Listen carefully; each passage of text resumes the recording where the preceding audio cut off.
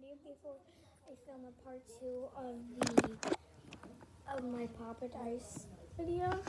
So I'm gonna put this spray in my mouth. Very sour. It's watermelon flavors, and it is super sour. I tried it.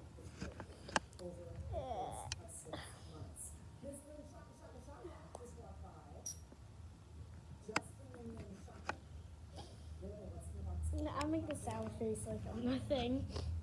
You literally can't stop from doing that. I mean, I only buy you so, t- I can taste